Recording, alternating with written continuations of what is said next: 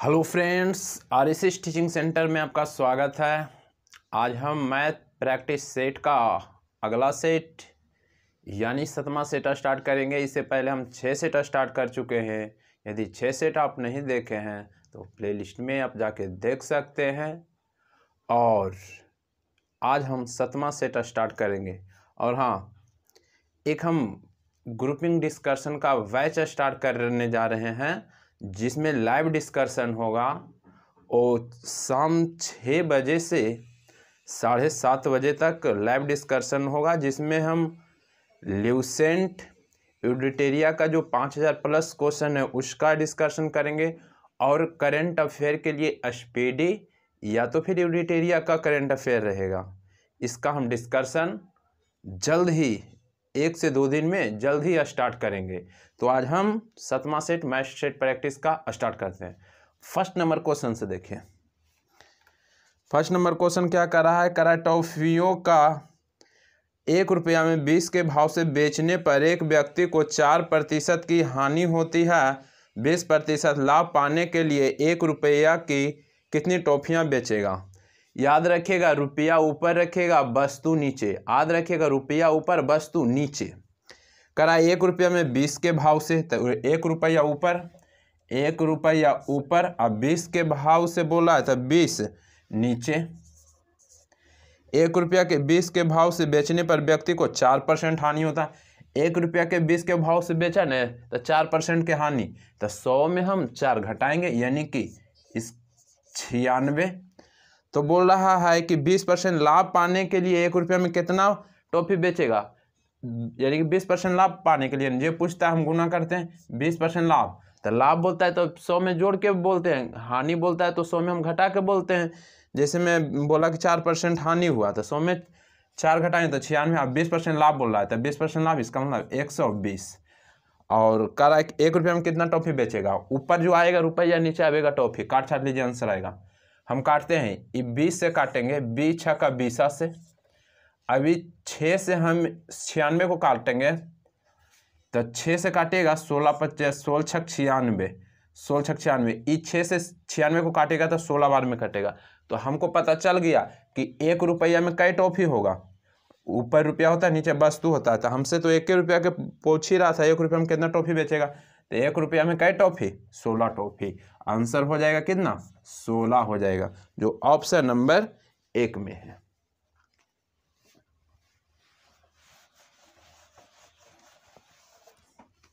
Next question. Next question क्या करा?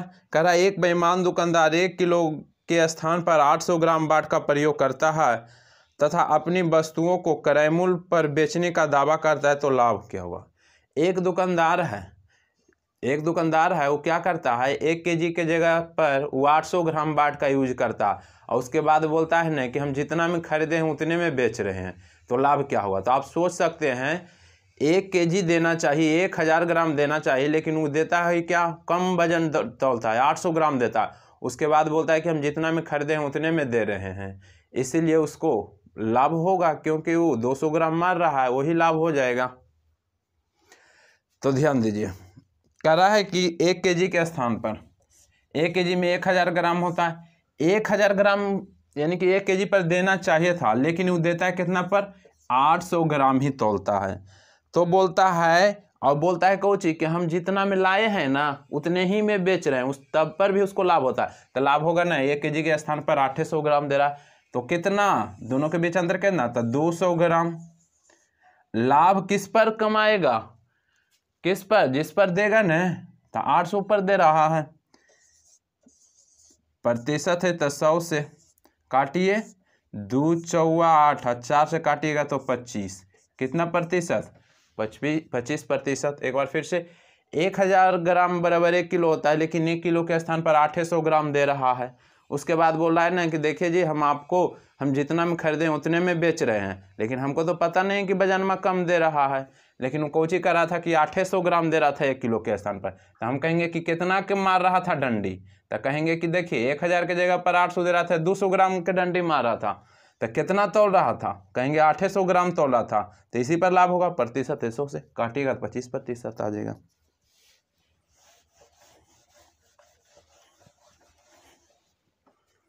Next question. Next question क्या कर रहा है? नेक्स्ट क्वेश्चन कह रहा है कि एक समलम चतुर्भुज के समानांतर भुजाओं का अनुपात तीन, अनुपात पाँच है, तथा इसके बीच की दूरी बारह सेंटीमीटर है। यदि इस चतुर्भुज का क्षेत्रफल तीन सौ चौरासी वर्ग सेंटीमीटर हो तो समानांतर भुजाओं में से छोटी भुजा की लंबाई कितनी होगा यही ना पूछ रहा है तो ध्यान दीजिएगा। दिया हुआ है भुजा का अनुपात तीन, अनुपात पाँच। हम इसमें भुजा में सिर्फ़ एक थोड़ा सा मान लेते हैं। अब जो मेन राशि दिया हुआ है तीन सौ चौरासी समलम चतुर्भुज का क्षेत्रफल है।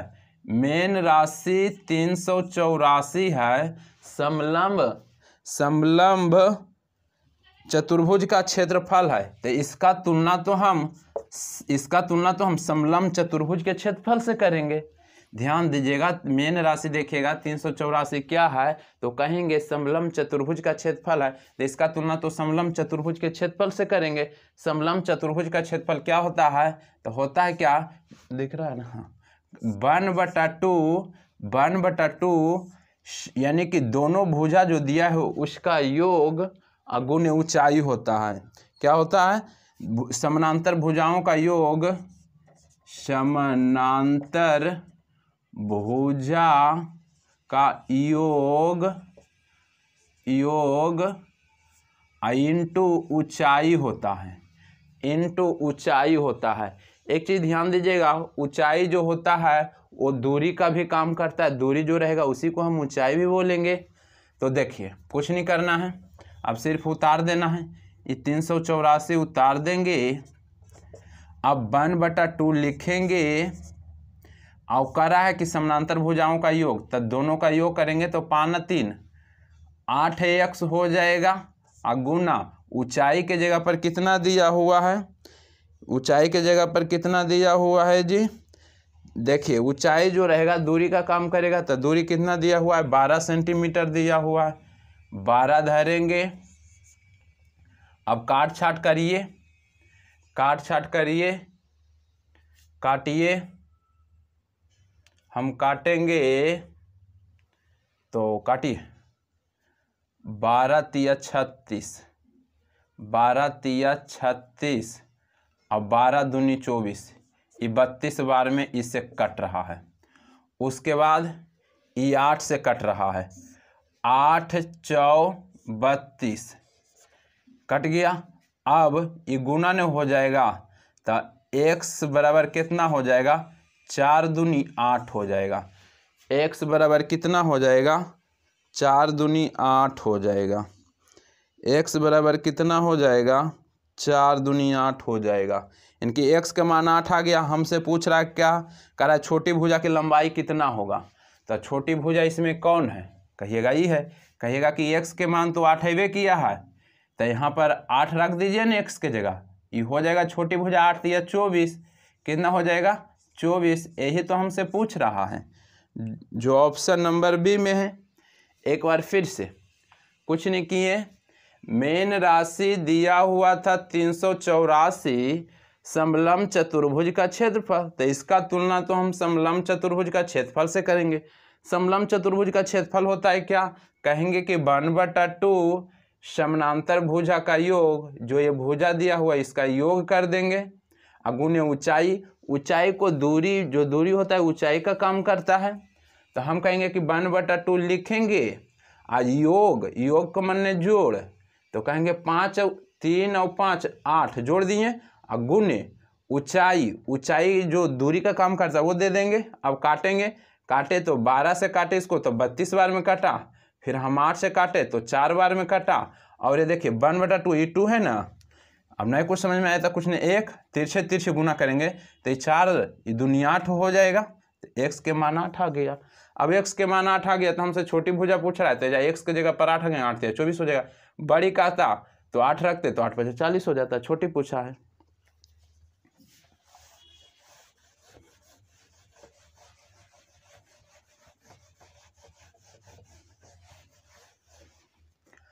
नेक्स्ट क्वेश्चन नेक्स्ट क्वेश्चन कह रहा है, किसी धनराशि का निश्चित ब्याज की दर से दो वर्षों का चक्रवृद्धि ब्याज तथा साधारण ब्याज 520 और 500 है तो ब्याज की दर। देखिए, इस तरह के क्वेश्चन देखिएगा ना तो टाइम नहीं लगाइएगा। हम बताते समय अभी थोड़ा सा हम बता देते हैं, लेकिन जल्दी कैसे बनाना है जो देखिए। देखिए कैसे जल्दी बनाना है। देखिए, एगो दिया हुआ है सी आई एगो दिया हुआ है एस आई साधारण ब्याज। सी आई कितना दिया हुआ है? पाँच सौ बीस दिया हुआ है। आई कितना दिया हुआ है? पाँच सौ दिया हुआ है। तुरंत आंसर बनाना है तो कैसे देखिए? दर निकालते हैं। तुरंत। कुछ नहीं करना है। दोनों के अंतर लीजिएगा। दोनों के अंतर लीजिएगा। कितना आ जाएगा? बीस। और जो साधारण ब्याज रहेगा, साधारण ब्याज रहेगा, उसको आधा ले लेना है। यानी कि दोनों दो दो वर्ष का है। ये दो वर्ष का साधारण ब्याज, दो वर्ष का चक्रवृद्धि ब्याज तो क्या करना है? पहले दोनों को यानी कि दोनों का अंतर लेना है बीस, और यानी कि साधारण ब्याज रहेगा, उसका आधा लेना है। तो आधा कितना हो जाएगा? पाँच सौ के आधा, अढ़ाई सौ। अब प्रतिशत है था सौ से, कोई दिक्कत नहीं। काटेंगे। काटेंगे कि एक शून्य से एक शून्य, अब पच्चीस चौसौ, चार दुनिया अठा गया आंसर। कोई दिक्कत नहीं। ये कैसे तुरंत लाते हैं। ये देखिए अब डिटेल से थोड़ा सा। हम कहेंगे कि देखिए एस आई है और सी आई है। हम कहेंगे कि देखिए एस आई है जो सब दिन बराबर बढ़ेगा, लेकिन चक्रवृद्धि ब्याज और एस आई साधारण ब्याज पहला साल ही बराबर होता है। यानी कि चक्रवृद्धि ब्याज भी पहला साल और सी आई भी सॉरी एस आई भी बराबर होता है। लेकिन दूसरा साल जैसी होता है तो साधारण ब्याज तो बस बराबर ही रह, बढ़ेगा, लेकिन चक्रवृद्धि ब्याज क्या होता है? ब्याज पर ब्याज लगना शुरू हो जाता है। जैसे में देखें दो वर्ष में दिया हुआ यही आंसर आ गया, लेकिन हम डिटेल से समझा रहे हैं। इतना नहीं करना, इतना आपको आंसर मार के निकल जाना, लेकिन हम थोड़ा सा डिटेल समझा रहे हैं कि दो वर्ष का एस आई है। तो जब जानते हैं कि एस आई साधारण यानी कि समान बढ़ता है तो हम कहेंगे कि दो साल में पाँच सौ हुआ है तो पक्का पहला साल में ही अढ़ाई सौ हुआ होगा। आओ सी आई कहे थे कि एस आई और सी आई पहला साल दोनों समान ही रहता है, यानी कि ब्याज पर ब्याज नहीं लगता है, दूसरा साल से लगता है तो ये भी अढ़ाई सौ होगा। दूसरा साल जैसी हुआ तो एस आई तो सामान्य बढ़े, बढ़ेगा अढ़ाई सौ बढ़ेगा तो अढ़ाई अढ़ाई, पाँच सौ हो गया। लेकिन सी आई जैसी होगा सी आई जैसी होगा तो ब्याज पर ब्याज लगना शुरू हो जाएगा, पहले साल बराबर रहेगा, अगला साल क्या होगा?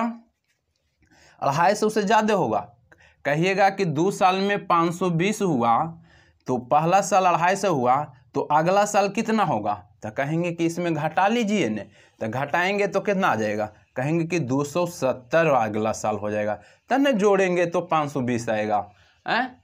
तो इतना करते हैं तो अब फिर कुछ नहीं करते हैं कि दोनों के अब हम यहाँ से क्या करते हैं? अंतर लेते हैं। क्या करते हैं? अंतर लेते हैं। तो अढ़ाई सौ, और दो सौ सत्तर में कितना के अंतर? बीस के अंतर। अब बटा अढ़ाई सौ और प्रतिशत है तो सौ से। यही चीज़ निकला कि नहीं निकला?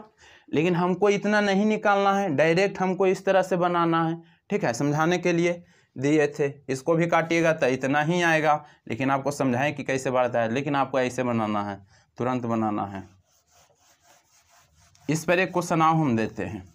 लेकिन आपको ऐसे नहीं बनाना है। डायरेक्ट ऐसे बनाना है। नेक्स्ट क्वेश्चन नेक्स्ट क्वेश्चन देखते हैं। नेक्स्ट क्वेश्चन कह रहा है किसी निश्चित धन पर दो वर्ष का चक्रवृद्धि ब्याज यानी कि सी आई कितना दिया हुआ है? इकतालीस। और साधारण ब्याज एस आई दिया हुआ है कितना? चालीस। हमसे ब्याज के दर पूछ रहा है। हम बोले ना कि कुछ नहीं करना है डिटेल से नहीं बनाना। कुछ नहीं करना है, दोनों के अंतर लेना है। एक अंतर आ गया। दोनों के अंतर लेना है। कितना अंतर आ गया? एक अंतर के मतलब घटा के एक आ गया।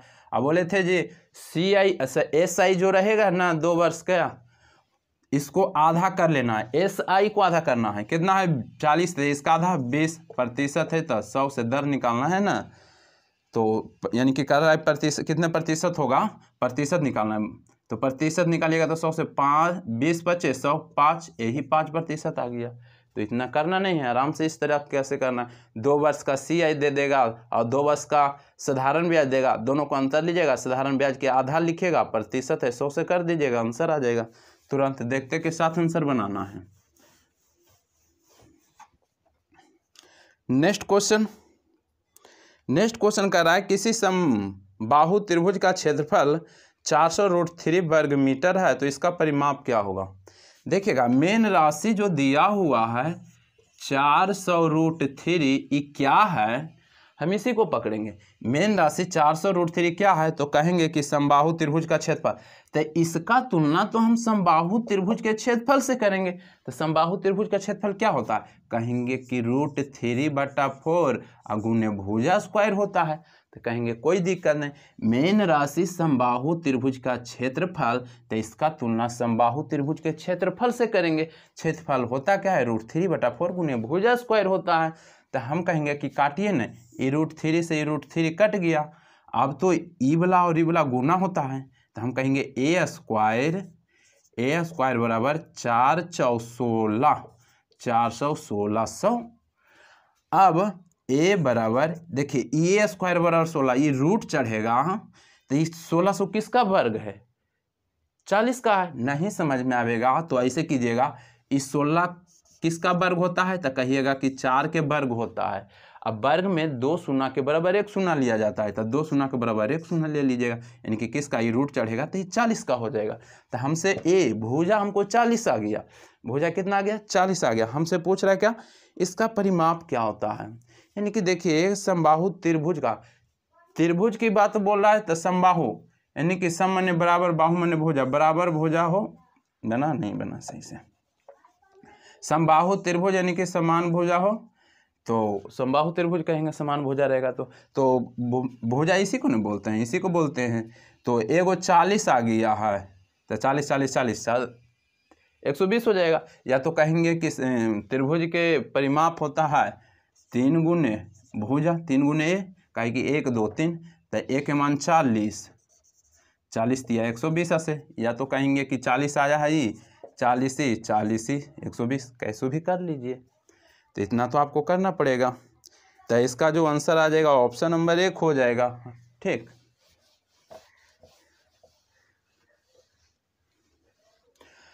अब हम नेक्स्ट क्वेश्चन की बात करेंगे। Next question.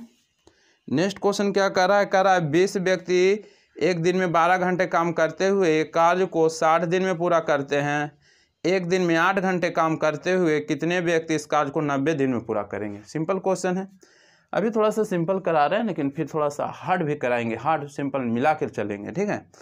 बीस व्यक्ति बीस व्यक्ति, देखिएगा करा बीस व्यक्ति एक दिन में एक दिन में कई घंटा काम करता है? बारह घंटा काम करता है। करते हुए एक कार्य को साठ दिन में पूरा करता है।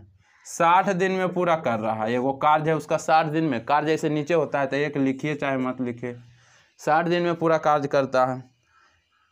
उसके बाद बोला कि एक दिन में आठ घंटे काम करते हुए, एक दिन में आठ घंटा काम करते हुए कितने व्यक्ति, कितना व्यक्ति पता नहीं, हम मान लिए एम व्यक्ति। इस कार्य को नब्बे दिन में पूरा करेंगे। नब्बे दिन में पूरा करेंगे। इस कार्य को कार्य नीचे होता है। इस कार्य को नब्बे दिन में पूरा करेंगे, निकाल लीजिए, आ जाएगा। जो आएगा वही आंसर हो जाएगा। काटिए। तो देखिए, ये तीस है, ये नब्बे है। सॉरी साठ है नब्बे है। तीस से काटिए। तीस दूनी साठ और तीस तिया नब्बे। और काटिए। ये तीन से काटिए। तीन चौ बारह। अब देखिए, ये चार दूनी आठ से ही आठ कट जाएगा। चार दूनी आठ आई दो दो से कट जाएगा। अब m बराबर कितना बटा? बीस। यानी कि m बराबर बीस आ जाएगा। m बराबर कितना आ जाएगा? बीस आ जाएगा। M बराबर बीस आ जाएगा, बीस व्यक्ति। ऑप्शन नंबर एक हो जाएगा।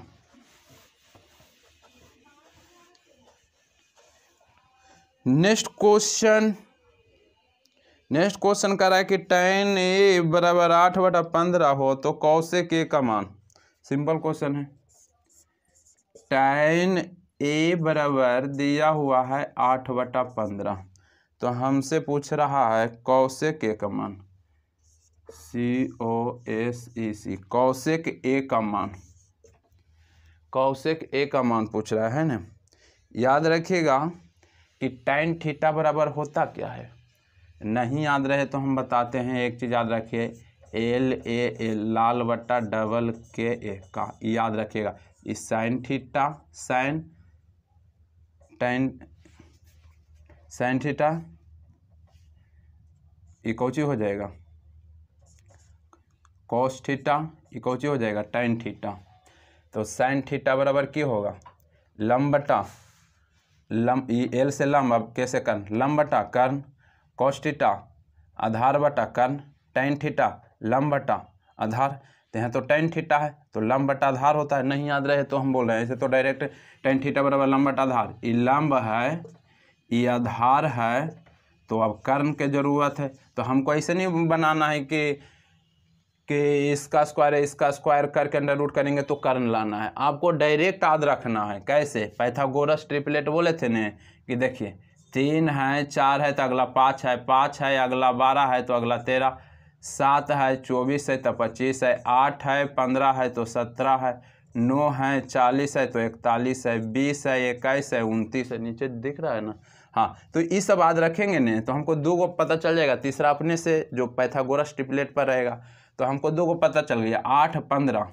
तो हम कहेंगे, आठ पंद्रह किसमें? आठ पंद्रह। तो अगला सत्रह कर्ण हो जाएगा। तो सत्रह हम कर्ण लिख दिए। अब कौशिक ठिट्टा पूछ रहा है। तो कौशिक ठिट्टा किसका अपोजिट होता है? तो साइन ठिट्टा का अपोजिट होता है। तो साइन ठिट्टा लम बटा कर्ण होता है। साइन ठिट्टा लम बटा कर्ण होता है। तो कौशिक क्या हो जाएगा? कर्ण बटा लम्ब होगा। कर्ण बटा लम्ब होगा। कर्ण बटा लम्ब कौशिक थीटा कर्ण बटा लम्ब साइन के अपोजिट होता है। तो हम कहेंगे कर्ण बटा ने देना है तो कर्ण कितना है? कहेंगे कर्ण सत्रह है। कर्ण कितना है? सत्रह है। लंब कितना है? लंब आठ है। तो यही आंसर आ जाएगा। तो इतना करना नहीं है। यदि आप नहीं जानते तो हम इस तरीके से हम बोले। तो डायरेक्ट देखते के साथ आंसर बना लेना है। ठीक है ना? मेरा उद्देश्य सभी को समझाना। तो याद रखिएगा ये ट्रिपलेट ज़रूर।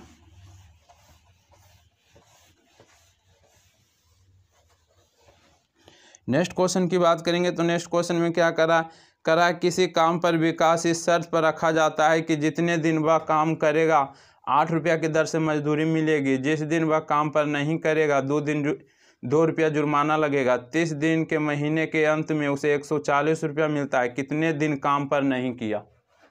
गाय मुर्गा पर बनाइए। हम बार बार बोलते हैं, निशानेबाजी हो, गाय मुर्गा हो, ये सब प्रश्न हो। बनाइएगा ना तो पता चल जाएगा कि गाय मुर्गा पर बनेगा।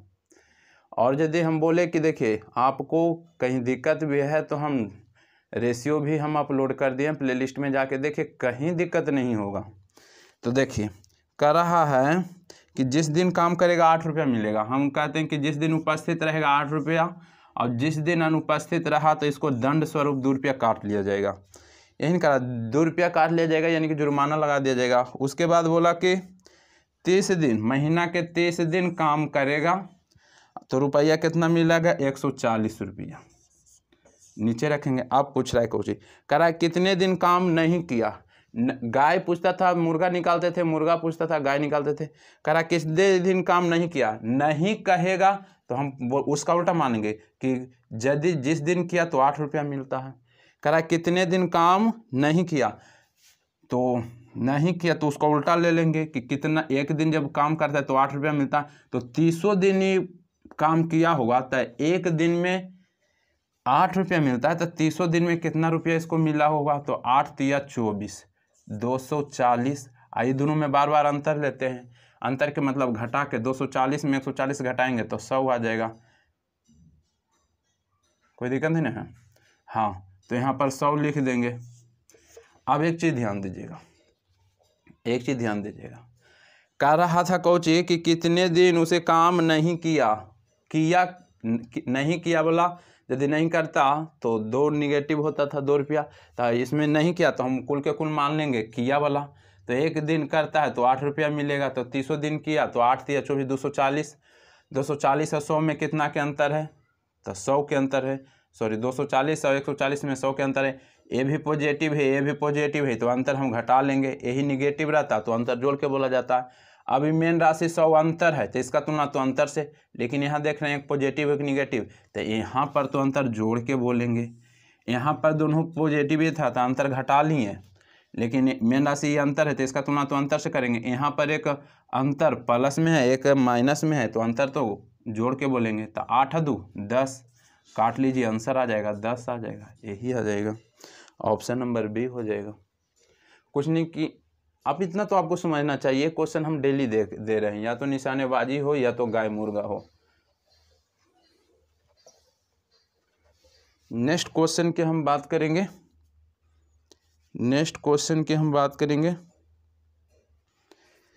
नेक्स्ट क्वेश्चन हाँ नेक्स्ट क्वेश्चन दे ध्यान दीजिएगा। कह रहा है क्या दो, तीन पाँच के स्क्वायर इतने न हैं। उसके बाद दो के स्क्वायर गुने तीन के पावर फोर, ठीक है ना? हम्म। उसके बाद पाँच गुने सात। तथा एक दिया हुआ है। दो गुने तीन के पावर पाँच गुने सात के पावर नौ। हमसे लघुत्तम पूछ रहा है, एलसीएम पूछ रहा है। हमसे क्या पूछ रहा है? एलसीएम। कभी भी इस तरह के पूछे, कह दे एलसीएम या एचसीएफ तो याद रखना, एलसीएम पूछेगा तो बड़ा पावर वाला लेना है। क्या पावर वाला लेना है? बड़ा पावर एल सी एम में टोटल को हम लिखते हैं। आई लिखना होता है तो छोटा पावर लेकिन उसमें जो मिलता है उसी को लिखते हैं। तो हमसे एल सी एम बोला है तो एल सी एम बड़ा पावर तो हम देखेंगे कि एल सी एम पूछा है ना। एल सी एम हम निकालें। कहेंगे कि बड़ा पावर लेंगे तो हम कहेंगे इसमें इसमें इसमें तीनों में मिलावेंगे। कहेंगे कि एल सी एम बड़ा पावर होता है और एलसीएम मिलेगा तो भी लिखना है, नहीं मिलेगा तो भी लिखना है। एलसीएम कौन पावर? बड़ा पावर। तो हम कहेंगे कि इसमें दो के पावर तीन है। इसमें दो के पावर वाला खोजेंगे दो है। इसमें खोजेंगे दो के पावर कुछ नहीं तो एक रहता है, यानी कि एक समझ जाना, एक है।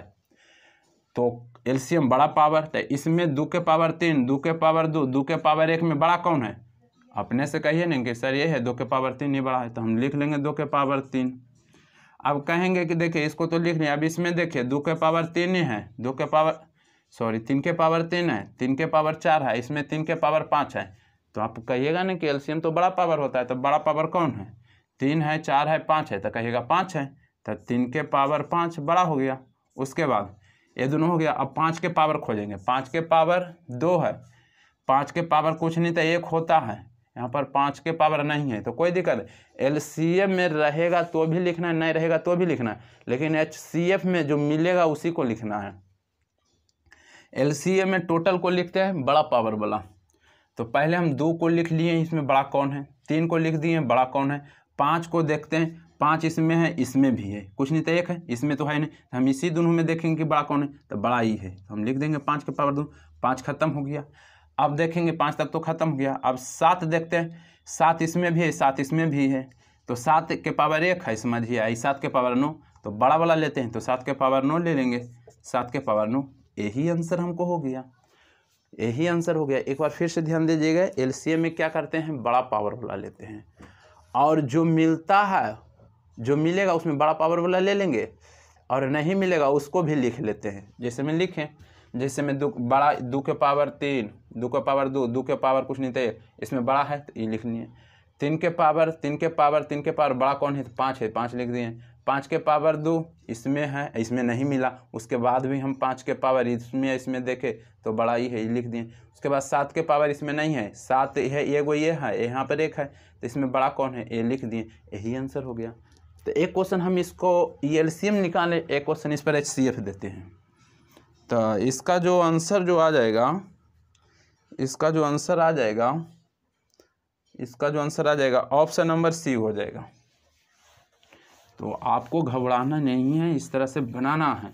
और ज़्यादा कुछ नहीं, हम तो बोलते हैं कि देखिए, एक सेट जो हम डेली अपलोड करते हैं मैथ का आप देखते जाइए ना, कहीं दिक्कत नहीं होगा। अब इसका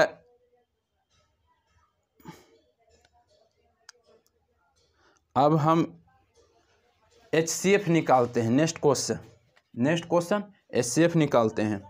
अब एच सी एफ़ का एक अलग क्वेश्चन है। कह रहा है कि देखिए, दो के पावर चार है, तीन के पावर तीन है, उसके बाद दिया हुआ है पाँच के पावर छः, उसके बाद नौ दिया हुआ है। इतना ही दिया हुआ है। उसके बाद दिया हुआ है कि दो गुने तीन के स्क्वायर है, उसके बाद पाँच के क्यू है, उसके बाद नौ के स्क्वायर है, इतना है। फिर एक अलग है, दो के क्यू है, तीन के पाँच है, उसके बाद पाँच है, उसके बाद नौ के पावर सात है। यही है। अब इसमें हमको महत्तम समावर्तक पूछा है। यानी कि महत्तम समावर्तक को एच सी एफ़ बोलते हैं। महत्तम समावर्तक को एच सी एफ़ बोलते हैं। लघुत्तम समावर्तक एल सी एम में क्या के जो बड़ा पावर वाला था, वो लिख दिए। और जो नहीं मिलता था, उसको भी हम लिखे थे। इसमें है कि देखिए, तीन पार्ट है। तो तीनों पार्ट में जो मिलेगा और छोटा पावर वाला रहेगा, उसी को लिखना है। इसमें एच में तीनों में जो मिलेगा, और सबसे छोटा पावर रहेगा, उसको लिखना है। जैसे में दो के पावर चार दो के पावर कुछ नहीं था, एक, और दो के पावर तीन। तो एच सी एफ़ छोटा पावर तो छोटा तो हमको दो के पावर चार दो के पावर एक दो के पावर तीन यही नहीं छोटा तो लिख देंगे दो के पावर कुछ नहीं तो एक है अब तीनों में मिल गया था अब तीन के पावर तीन देखते हैं तीनों में है तीन के पावर दो तीन के पावर पाँच तीनों में है तो अब हम लेते हैं तीन के पावर तीन है तीन के पावर दो है तीन के पावर पाँच है तो छोटा वाला लेंगे तो ए है ए है ए है में छोटा तो तीन के पावर दो होगा तीन के पावर दो लिख देते हैं उसके बाद पाँच के पावर सिक्स तो हम देखेंगे कि तीनों में है ना पाँच के पावर, तबे छोटा लेंगे। दो गो में रहेगा तो उसको नहीं लेंगे। एल सी एम में लेते थे बड़ा पावर दो गो में भी है तो ले लेते थे। एस में तीनों में रहेगा और छोटा पावर वाला लेंगे। तो हम पाँच के पावर छो देखेंगे, पाँच के पावर तीन देखेंगे, पाँच के पावर एक है। तो छोटा कौन है? कहेंगे पाँच के पावर एक। उसके बाद नो इसमें भी है, नो इसमें भी है, नो इसमें भी है। कोई दिक्कत नहीं, लिख लेंगे। नो के पावर कुछ नहीं था, एक, नौ के पावर दो, नो के पावर सात तो छोटा वाला, नौ। नो, यही आंसर हो जाएगा। बस कुछ नहीं करते हैं, और रिवीजन करते रहेगा, इस तरह का क्वेश्चन आते ही रहेगा। ज़रूर पूछा जाएगा, क्योंकि कलम गिर गया है। हाँ तो इसका जो आंसर आ जाएगा, कौन आ जाएगा? आंसर आ जाएगा ऑप्शन नंबर बी हो जाएगा। कलम टपक गया। अब नेक्स्ट क्वेश्चन की हम बात करेंगे। नेक्स्ट क्वेश्चन कह रहा है कि दो व्यक्ति, ए तथा बी, एक काम को क्रमशः आठ और सोलह घंटे में पूरा कर सकते हैं। यदि उस काम को बारी बारी से एक एक घंटा काम करे और शुरुआत में एक काम करे तो कितने घंटे में पूरा हुआ इस टाइप के भी क्वेश्चन हम बता चुके हैं। ए है और बी है। ये आठ घंटा और ये सोलह घंटा, ये समय दिया हुआ है। समय का उल्टा क्या होता है? समय का उल्टा क्षमता होता है। इसका एलसीएम लीजिएगा तो सोलह आएगा। बड़ा सोलह सोलह कट जाएगा आठ से, सोलह भी कट जाएगा एक बार में सोलह से। तो एलसीएम आठ, सॉरी, एलसीएम सोलह। सोलह को आठ से भागा देंगे तो आठ दूनी सोलह।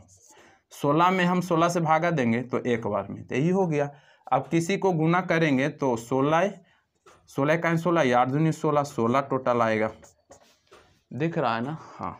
हमको सोलह काम करवाना है। और बारी बारी बोला, हम क्या कहते हैं कि देखिए, एक दिन ही करेगा, एक दिन ही करेगा।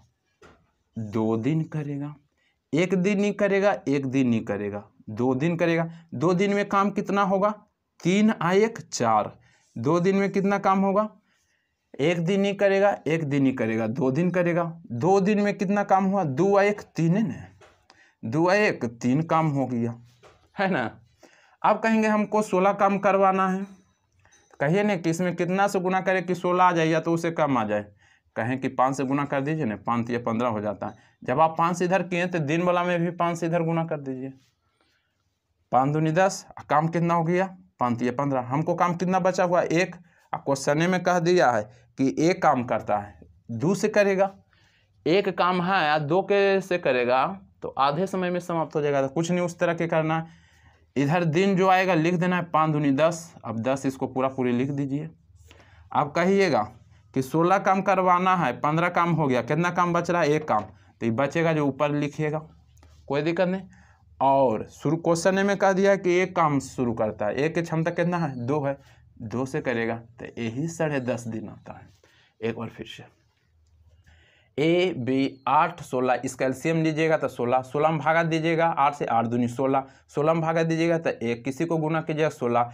एक दिन ये करेगा, एक दिन ही करेगा, दो दिन करेगा। दो दिन में कितना काम हुआ? दो, एक, तीन। अब कितना से गुना करे कि सोलह? आवे तो कहेगा, पाँच से गुना कर दीजिए ना पंद्रह। ज़्यादा नहीं आना चाहिए, कम आना चाहिए। तो पाँच या पंद्रह, पाँच इधर से किए तो पाँच इधर से भी। तो पाँच दूनी दस दिन हो गया। अब हमको काम सोलह में एक काम करवाना है। तो जितना बच रहेगा, ऊपर लिख दीजिएगा। और कौन करेगा? कौन करेगा? ये करेगा एक की क्षमता दो है। हो जाएगा पूरा। साढ़े दस दिन आंसर हो जाएगा। इस तरह का क्वेश्चन ऑप्शन नंबर सी हो जाएगा। इस तरह से कर देना है।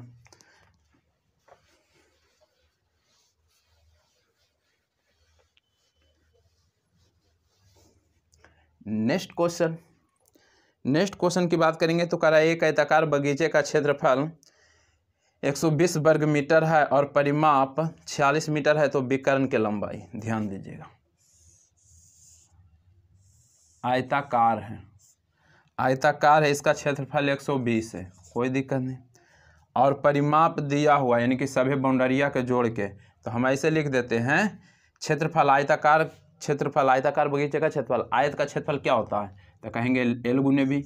एल गुने बी बराबर दिया हुआ है कितना? एक सौ बीस यहाँ तक तो कोई दिक्कत नहीं। उसके बाद बोला कि परिमाप दिया हुआ है छियालीस। परिमाप होता क्या है? तो हम कहेंगे कि आयत का परिमाप two into L plus B होता है। तो इतना बराबर कितना दिया हुआ है? छियालीस दिया हुआ है।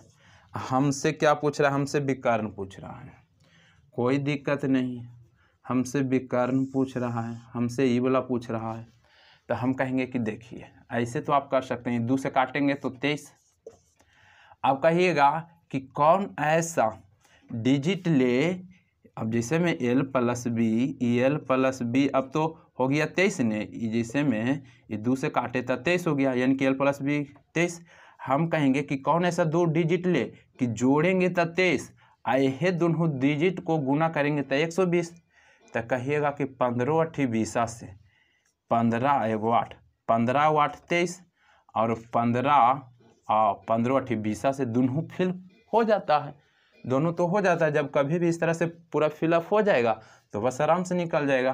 तो हम कहेंगे कि देखिए, लंबाई हो गया पंद्रह, चौड़ाई हो गया आठ। कहेंगे कि आठ कौन लेंगे, पंद्रह कौन लेंगे? तो लंबाई बड़ा होता है तो पंद्रह ले लेंगे लंबाई। तो कहेंगे कि पंद्रह हो गया, ये आठ हो गया। हमसे यही न पूछ रहा है। कोई दिक्कत नहीं, पंद्रह इधर तो पंद्रह ही हो, आठ इधर तो आठ इधर भी दे सकते हैं। लेकिन हमको तो यही पूछ रहा है तो कहेंगे कोई दिक्कत नहीं, अभी ना आप बोले, जी, कि पैथागोरस ट्रिपलेट याद रखिए, तीन, चार, पाँच पाँच, बारह, तेरह, पाँच, बारह, तेरह, सात, चौबीस, पच्चीस, आठ, पंद्रह, सत्रह, कहे थे कि नहीं अभी? तो हमको दो गो दिख रहा है, आठ दिख रहा है, पंद्रह दिख रहा है। आठ दिख रहा है, पंद्रह दिख रहा है तो अपने से ही बोलेंगे ना कि सत्रह हो जाएगा। तो यही से तो हमको विकर्ण पूछ रहा है तो यही आंसर हो जाएगा। या तो फिर इसका स्क्वायर कीजिएगा प्लस इसका स्क्वायर कीजिएगा अंडर रूट कीजिएगा तो फिर आएगा तो उतना नहीं करना है टाइम लग जाएगा। डायरेक्ट याद रखिए, आठ है, पंद्रह है तो अगला सत्रह हो जाएगा। यही तो हमसे पूछ रहा है विकर्ण। देखिए जनरल कंपटीशन की तैयारी कर रहे हैं ना तो जितना कम टाइम लगे, उस मेथड का यूज़ कीजिए। Next question. नेक्स्ट क्वेश्चन कर रहा है, सौ किलोमीटर दूरी पर स्थित दो स्टेशन है। ए तथा बी है। एक रेलगाड़ी ए से प्रातः दस बजे बी की ओर बीस किलोमीटर की चाल से चलना आरंभ करती है। दूसरी रेलगाड़ी उसी दिन दस बजे ए बी से ए की ओर तीस किलोमीटर प्रति घंटा की चाल से चलती है तो वे किस समय मिलेगी? कोई दिक्कत नहीं सिंपल क्वेश्चन है। ए है बी है। यहाँ तक की दूरी दिया हुआ है सौ किलोमीटर। कितना दिया हुआ है? सौ किलोमीटर दिया हुआ है। करा ए से प्रातः दस बजे। यहाँ से दस बजे दस बजे इधर जाएगा बी की ओर। ये जाएगा कितना के स्पीड से? बीस किलोमीटर प्रति घंटा के स्पीड से। उसके बाद बोल रहा है जी कि दूसरी रेलगाड़ी उसी दिन, दूसरा रेलगाड़ी है ना, उसी दिन ये भी दस बजे सेम टाइम जब सेम टाइम है तो बनाना और आसान हो जाता है। बी से ए की ओर। ई अब चलेगा बी से ए की ओर चलेगा। बी से ए की ओर तीस किलोमीटर प्रति घंटा। तीस किलोमीटर प्रति घंटा के चाल से चलेगा। तो कह रहा है, किस समय मिलेगी? कभी भी बोलेगा नहीं, किस समय मिलेगी? मिलने की बात कहेगा तो समान समय में चलाएँगे। तो करेंगे क्या? किस समय मिलेगी? किस समय मिलेगी करा? समय पूछ रहा है ना, समय बराबर होता क्या है? तो हम कहेंगे कि देखिए, समय बराबर होता है, दूरी बटा चाल होता है। तो हम कहेंगे कि देखिए जी, दूरी तो हमको यही रहेगा। सौ तो सौ दे देंगे। और चाल, एगो इस साइड से जाएगा, एगो इस साइड से आएगा। विपरीत दिशा में चाल जुट जाता है, विपरीत दिशा में चाल जुट जाता है। याद रखिएगा। नहीं तो आप कभी भी ट्रेन में जाते होंगे तो देखिएगा, आप इधर से क्रॉस करें, एक उधर से आएगा तो लगेगा तेज़ी में भाग गया। अरे, भागता तेज़ी में नहीं है। उसका स्पीड और इसका स्पीड जुड़ जाता है ना तो लगेगा तेज़ी में भाग गया। और उसी प्रकार से देखिएगा ना एक ट्रेन इस साइड से चला और दूसरी पटरी पर यह दिशा में चला, लगेगा धीरे धीरे चल रहा है। तो धीरे धीरे नहीं चल रहा है, दोनों का चाल है ना, जो घट जाता है। तो आद रखने के लिए बोलेंगे विपरीत दिशा में चाल जुट जाएगा और एक दिशा में चाल घट जाएगा। तो विपरीत दिशा में चाल चल रहा था, समय बराबर दूरी बड़ा चाल, समय दे देंगे सौ सॉरी समय बराबर दूरी बड़ा चाल, दूरी दे दिए सौ, और चाल दे देंगे, विपरीत दिशा में चाल जुट जाता है, तीस बीस, पचास पचास से काटेंगे, पचास दूनी सौ, यहाँ से हमको कितना आ गया? दो घंटा आ गया, दो घंटा आ गया तो हम कहेंगे, सर जी, क्या दस बजे तो चलवे किए थे, उसके बाद दो घंटा और लग गया। तो कह दीजिए नहीं कि दस बज के दस बजे चले थे, दो घंटा और लग गया। तो बज गया बारह। कितना बज गया? बारह बज गया, है ना? बारह बजा, ठीक? कोई दिक्कत है एक बार फिर से? दूरी सौ, दस बजे, ये भी दस बजे। बीस किलोमीटर, ये तीस किलोमीटर, विपरीत दिशा में। समय पूछा है, समय बराबर, दूरी बढ़ा जाओ। दूरी कितना है? सौ। चाल विपरीत दिशा में जुट जाता है। तीस ही, बीस ही, पचास पचास से काटेंगे दो घंटा। और दोनों सेमे समय में चल रहा था। दस बजे दस बजे, दो घंटा और जोड़ दें, बारह बजे। कोई दिक्कत? नहीं।